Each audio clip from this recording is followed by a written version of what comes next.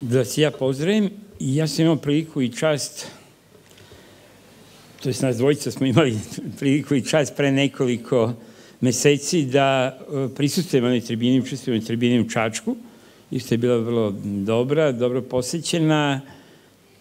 I e, tema je bila malo drugačija, konkretnija, više politička, više lokalna i više ekološka, a onda je neko od prisutnih a takođe je bio u pravu, rekao, ali dobro, to je nejasno, misli da će biti ekološka tribina, ispala je polupolitička sa lokalnim temama. Ali ovo što je Ratko govorio i sada i, i čemu inače govori, pokazuje kako zapravo to nisu dve različite stvari. To je jedna te ista stvar, jedna ista tema. Znači, kao to vole, vole to nekad i mediji, vole to i, i ovaj, pa to novinari, vole to i političari da se razdvoji, kao nemoj da se mešaš u tuđe, ove to kolege, naučnici, profesori i tako dalje, nemoj da izlaziš izvan svoje, svojih nadležnosti, svoje okvira, svoje struke, pa se drži svog ono, dvorišta. I onda tako svako obrađuje svoje dvorište ili ćošak, neko parče te svoje avlije, a onda mešteri i mešetari, naravno, rade naveliko u svakom smislu te reči. Dakle, rade biznise, E, trguju, švercuju, kradu e, i upropoštavaju zapravo zemlju u celini.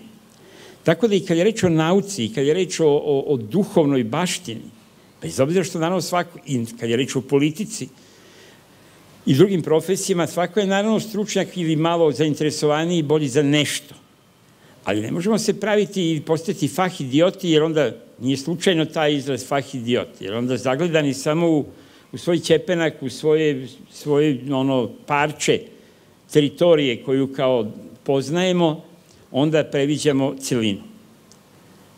A to, kažem, često gospodari naših sudbina i vole i stvaraju taj sistem. I ne mislim samo na nacionalnom i lokalnom nivou, nego i globalno. Na svetskom nivou se ide na te razne vrste parcelisanja, rasparčavanja, usitnjavanja. Baš zato bi se sprečila šira slika, da se spreče ljudi i narodi da pogledaju malo krupniji i širi plan.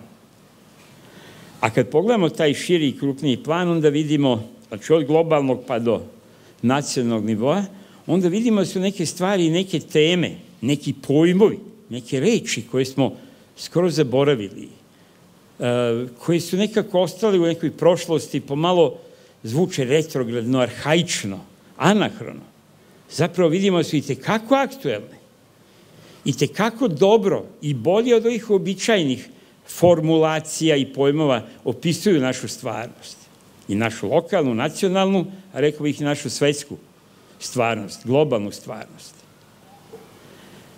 I to je tako i u politici i tako je, kažem, to i u drugim, drugim ovaj, oblastima. Tako da mi smo nekako navikli čak i kada ne bavite se politikom, ali vama se upominju levice, desnice nekako ušima, pa se onda priča evo na političkoj sceni u Skupštini šta kaže levica, šta, kaže, šta leva opozicija, šta desna opozicija. Pričamo, pa imaš neku vlast koja ne znaš da je levica ili desnica, koja je sve to iznad, da se ovi kao glože i bacaju se neke koske, da se oni glože između sebe, ovaj, ti levičari i desničari. Nije da to nema razlike, ali rekao bih da nije presudna nije presudna za opisivanje današnjih i razumevanje današnjih trenutka u Srbiji, a ne u svetu. Ili neke druge, kažem opet, stvari, neki drugi pojmovi, među kojima meni drag pojam demokratije, kojim sam se bavio i teorijski i praktično i davao već dosta godina, da ne kažem i decenija, skromni doprinos demokratizaciji naše javne medijske scene, znači važan pojam. A onda se stavlja kao demokratija protiv autoritarizma, autokratije. Pa je to kao podela koja vlada svetom i onda svi mi, da, koji smo sinovi svetlosti kao bojagi, onda smo mi borci za demokratiju, a ovo su neke mračne sile i mračne snage u svetu protiv kojih se treba boriti. On se ispostavlja da su te mračne snage zapravo velika većina sveta, a da su i da je svetlost ovih svetlih zemalja i naroda dosta, dosta problematična, pa i demokratičnost u njima samima, a kamoli njihovo obhođenje i odnošenje prema drugim zemljama i narodima. Bilo kako bilo, evo i dva pola, dva pojmovna para, ovo su ipak duhovne svečanosti, pa uzimam pravo da malo malo i filozofiram, ali ne radi na nekom lošem drvenom smislu, nego bi zapravo došao i sa druge strane objasnio ono što je naša tema ovde danas, srpsko nacionalno pitanje i na neki način se nadovezujem na ono što je, što je Miloš e, govorio i sa tim ću završiti. Dakle, niti levica, niti desnica, niti demokratija, autoritarnost nisu pojmovi izrazi koji zapravo pomažu razumevanju sveta u kojem živimo. Mogu da imaju značaja, možda neko ima da se bavi. I neki drugi pojmovi. Pojmovi moderna, postmoderna, takođe. Više ne. U nekom trenutku su bili aktuelni. Zato neki, kao što rekao, zaboravljeni u prošlost, u ropotarnicu prošlosti, ropotarnicu istorije bačeni pojmovi, odjednom pokazuju svoju operativnu i logičku snagu i upotrebljivost. Kao što je pojam kolonijalizma, odnosno dekolonizacije.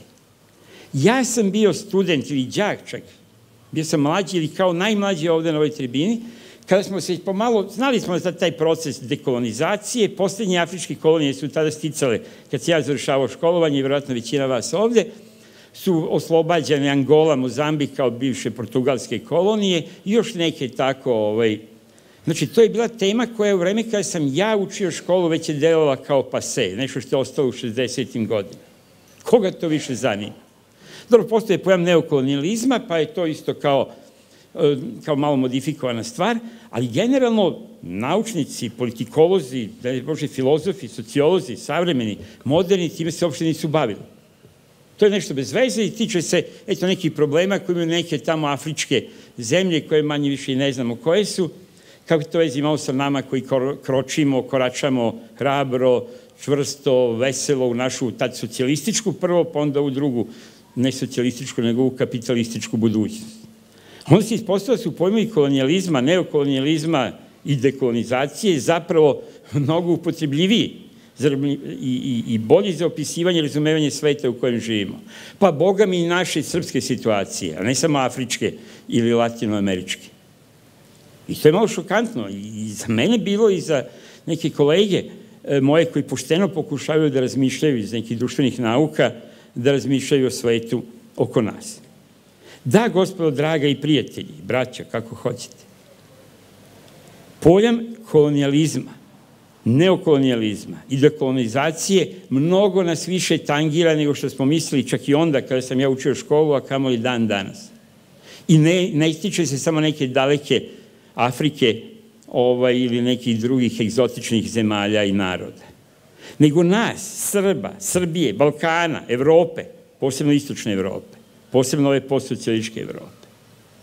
A neće vam lako ni često sa ekrana TV prijemnika, što bi rekao Radovan, ovaj, neće vas često govoriti i obeštavati o tome, nego vas mlaćuju vlast, opozicija, demokratija, autoritarnost, levica, desnica, a niko ne priča o tome da zapravo imate jednu skupinu, ima i drugih pojmovnih, ove, rekao bih, evo, samo jedan ću još pomenuti, parova koji možda su upotrebljiviji i korisniji za razumevanje sveta u kojem živimo. Ja ću se fokusirati više na ovo sad, ovaj, kažem, baš, baš zaboravljeni, kao što je kolonijalizam i dekolonizacija. A recimo još jedan pojmovni par koji je takođe vrlo upotrebljiv za razumevanje onoga o čemu živimo.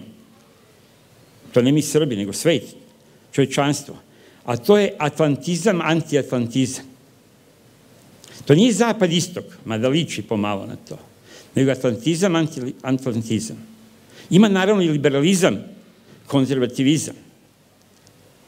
Ali zapravo, kad malo bolje pogledate, ovo što dešava danas u svetu, uključujući ovaj rat na istoku Evrope, se, nažalost, može mnogo lakše i bolje razumeti ako se stavi u taj pojmovni par i taj okvir atlantske vrednosti, odnosno atlantske sile, atlantske snage, da kažem, anglosaksonske zemlje i narodi i njihovi sateliti, kolonije, saveznici, kako god hoćete, protiv ostatka sveta.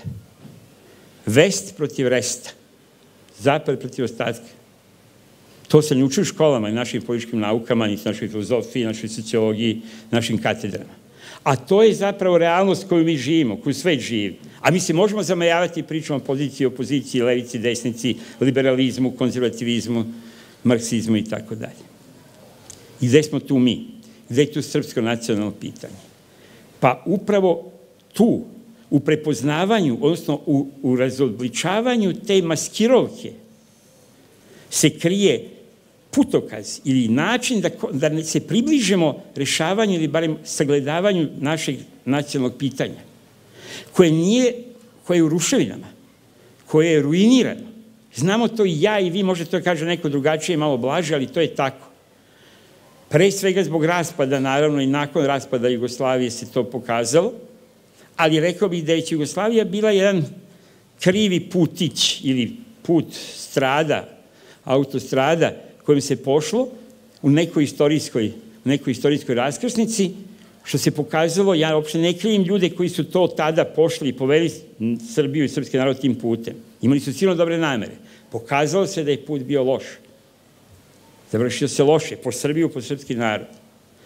Znači, to je jedan aspekt najvidljiviji, te raspad te Jugoslavije, koji su Srbi, srpski narod investirali svoje nade, svoje, svoje živote, svoje najbolje sinove, svoj krv, kosti, ideale. Ali, sada kada se malo pogledamo šire, pa ovaj svetski kontekst, nevolje u tome što sad srpsko nacionalno pitanje se mora rešavati, sagledavati u jednom okruženju koje je izrazito nepovoljno, budimo to pošteni i priznajmo se, izrazito nepovoljno za rešavanje. Tako je to u istoriji, to Miloš zna i svi mi znamo, imamo i dosta godina, a iskustva životnog i vi i ja. Tako je to u individualnim životima. Neka vam se neke karte nameste dobro, možda bez naše zasluge. I pojedincima i narodima. A mi mislimo to smo zaslužili. A kad nas klepi loše, kad krene loše, onda kažemo jao kakav male, kakva najsreća. Jedno i drugo malo utičemo, a malo i ne utičemo. Desi nam se. E tako je to bilo i sa srpskim narodom. Nekom trenutku su te karte istorijske prilike bile povoljnije i sada su realno manje povoljne. Ja i dalje tvrdim da nisu toliko nepovoljne kao što deluju. I dalje mislim da u ovim neizgodnim okolnostima, da ih sada ne upisujem te globalne, pomenuo sam rat, pomenuo sam ovaj sukob novi, hladni rat koji nije samo hladni, nego kažu ljudi da je, pametni ljudi da je to svetski rat, samo što postepeno ulazimo u taj svetski rat i verovatno su oni u pravu.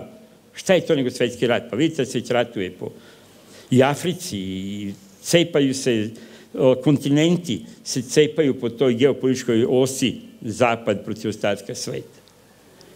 A mi smo ovde suviše mali da bi mogli da budemo neka ozbiljna sila, ali opet dovoljno veliki i dovoljno, dovoljno veliki u raznim smislima, ne samo fizički, e, da bismo se tek tako priklonili nečemu što svako od nas zna. Ja verujem čak i naše vlasti, čak i većina ovih koji nas vode na taj evropski i zapadni put znaju da to je put zapravo ćorstvaka sa stanovišta srpskih nacionalnih interesa.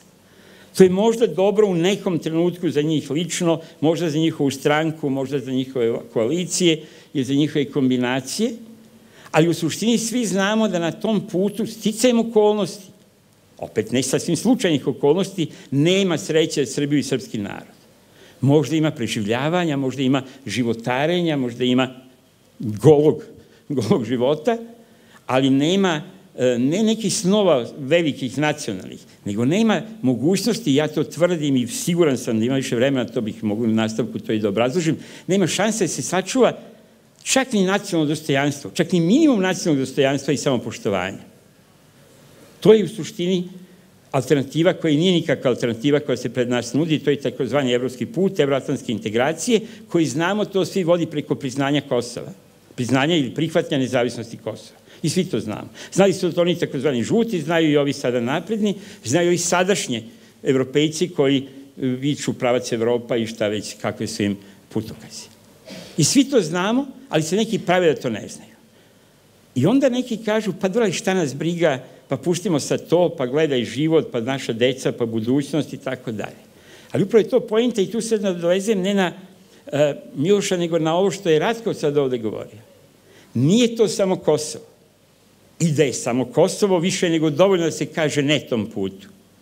To su, boga mi, i sve druge stvari, uključujući ekologiju, vazduh, vodu, zemlju i, kao što sam rekao, nacionalno poštovanje. Jer uz tu priču, uz taj, tu evropsku i evroatlantsku agendu, ide, gospodo draga i dragi prijatelji, ide i genocid. ima i priznanje, ide i priznanje genocida. Ide i priznanje da smo krivi za ratove 90-ih. Ja sam posljednji koji će braniti onu vlast Loševića u komunističkoj i tako dalje. Ali ne možemo reći da su sada oni bili krivi, svi su bili nevini, jer samo je srpsko rukovodstvo bilo krivo, ratno kuškačko i tako dalje. Mislim, prosto ne stoji činjenično. Ne zato što sam ja srbin, mislim, ili što, što navijam za, za srpsku stvar. Dakle, prosto ide nametanje krivice, nametanje e, osjećanja poraza, poniženja. Tu su to, ta od prihvatanja odgovornosti za rat i prihvatanje odgovornosti za genocid, direktno ili indirektno, idu rame uz rame sa tom euroatlantskom agendom. Samo se to tako ne kaže. Ne kaže, evo, samo prihvatite nezavisnost Kosova, pa ne morate čak ni nezavisnost Kosova, nego samo se nemojte mnogo protiviti i sve će biti u redu. Pa tako je bilo, samo izručite generale, samo izručite rukovodstvo vojno i političko, pa onda opet idete na evropski put. Pa pre toga je bilo još nešto drugo i tako, izručite Miloševića, pa onda će sve biti u redu. Dakle, nama je ovom narodu, i zato je on u velikom iskušenju, i moram time završavati, zato je on velikom i teškom iskušenju. Zato što se nameće i što mu preti realna opasnost, ne samo e, demografskog, ekološkog, ekonomskog i svakog drugog uništenja i propasti, nego i zbog toga što je sada, ne sada, već je to par decenija na delu, je ugroženo i, i, i kako rekao, epicentar e, nacionalnog bića, identiteta i samopoštovanja. I upravo ovim, ovim aspektom kojim je, za koji je naravno i profesor Lompar nadležniji i sigurno će o tome, o tome govoriti šire, nametanjem ove kulture, navodnicima, debljim navodnicima kulture samoporicanja, autošuvinizma, samomržnje, dakle, negovanjem jednog sloja soja, bolje reći, ljudi, projektom Srba i svog naroda, svoje teritorije, e, kojima je zadatak, misija, nekada i obsesija da, da da oskrnave sve to što je dobro, vredno i svetlo u našoj istoriji, našoj prošlosti i u našoj sadašnjosti. Ima naravno u našoj istoriji svega drugog i raznih drugih stvari, nije sve bilo sjajno i bajno, znamo mi to kao i u našim životima, tako i u našoj, našoj istoriji, našem trajanju. Ali Boga mi, kao što je Miloš kratko, ali lepo da pokaže i da skrene pažnju, Sigurno nema više lošeg nego kod drugih, a verovatno ima i više, kad bismo stavili ozbiljno računicu, verovatno ima i više tog pozitivnog i na što možemo i moramo biti ponosni. I ovi nepogrešivo gađaju ti autošovinisti, nazovite ih kako hoćete, gađaju na to, to, e, na to se ustremljuju, od crkve do prošlosti, istorije, znači e, to gađaju i to moralno, etičko jezgro e, naše nacije. Ako i to razore, onda nam ni bolje poboljšanje eventualno ekonomskih i ovih geopolitičkih prilika više neće pomoći. I zato na to moramo biti jako budni jako osetljivi na te tendencije. I nije to ono što meni često kažu, i u nekim misijama i ovako na Twitteru, društvenim mrežama, ma šta se baviš njima, njih je 4-5% tih ljudi, a vjerojatno ih je čak i manje i to rade iz interesa i td. Kakve to veze ima i da da se bacimo na vlast, to nam je glavni problem. Jeste, vlast je neću stići do njih, i tekako problem. Ali ovo ne treba pocenjivati. Oni jesu malobrojni, ali su vrlo maligni. I one ćelije raka su jako male, sitne i nevidljive, najčešće nevidljive okom, ali zaraze i upropaste čitav organizam.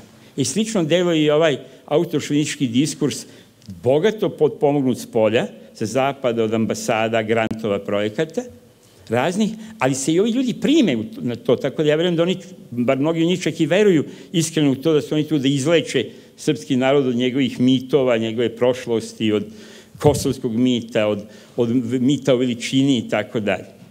Znači, to ne treba podcenjivati, to što ih je malo, što su malobrojni, ne znači da nisu opasni. Pogotovo što su u jednoj neprirodnoj, ali jako efikasnoj simbiozi sa ovim velikima, sa vlašću, koja ima svoje resurse i koja iz svojih interesa, potpuno drugačijih od ovih, ovih zapadnih i, i ovih autošovinističkih, iz svojih razloga podstiče ih, neguje, gaji, promoviše. Pa s kim je predsjednik Vučić jedino razgovarao, razgovarao, išao na duel, upravo sa predsjednicima te autošovinističke, drugosrbijanske, kako hoće, prozapadne struje. Zašto? Pa to što sprem njih može da deluje i da se predstavlja svojim biračima kao patriota, kao heroj, kao branitelj srpstva i srpske stvari. Dakle, režim neguje te autošovinističke, te maligne, autokolonijalne snage i tendencije i pojedince, da bi onda napravio lažnu, lažnu ravnotežu, lažni balans, kako na jednoj strani postoje to ti izdajnici što će daju Kosovo i nisu patriote i vole da slušaju Zapad, a na drugoj strani su tobože neki neozbiljni, neodgovorni tipovi sa, ne znam, hamama u zubima što prizivaju krv i tako dalje. Evo, baš mi je, Vuk baš deluje kao neko ko sa ovako mu kama iz, iz, ovaj, iz, zuba, iz usta ovaj, viri. E, I pri tome se prebreva činjenica da, da je zapravo na toj strani koju oni veštački pro, proglašavaju kao eto neki drugi pol nekog ekstremizma, da zapravo su, da je to zapravo većina naroda, većina po uverenju, ne po simpatijama za Marka, Janka, ne znam, Vuka, Boška, Peru, Miku, Đorđa, nego po stavome, uverenjima većina naroda to misli spontano. E, ali vlasti, koje je stalo do vlasti, baš i briga i do nacionalnog pitanja, interesa i, i svega drugog, vlast kalkuliše time što ih proglašava za dva jednaka pola, dve jednake opasnosti, od kojih se onda stoji u sredini, centru, mudra, stabilna, stamena vlast, koja zapravo, i naravno Aleksandar Vučić, koji zapravo sprovodi politiku istu tu tog zapada, te, tu neokolonijalnu politiku i promoviše tu kolonijalnu magmu, koja ima i ovaj ekološki, odnosno rudarski aspekt u smislu zagađenja, koja ima i svoje kulturne aspekte u vidu ovog, ovog zagađenja autošovinističkog i autokolonialističkog i koja onda kaže, evo vidite, to vam je mainstream, to vam je Srbija. I nije to Srbija. Srbija je ona Srbija koja čuva sećanje na borbu i na potrebu oslobođenja i ujedinjenja. I evo vam još jednog i poslednjeg pomenog para koji takođe deluje kao da je nešto iz 19. veka, iz neke daleke prošlosti, a zapravo je vrlo aktuelan i dan danas, mada to ne žele da čuju gospodari naših sudbina. Dakle, da, dekolonizacija, ali Boga mi oslobođenje i ujedinjenje. Hvala.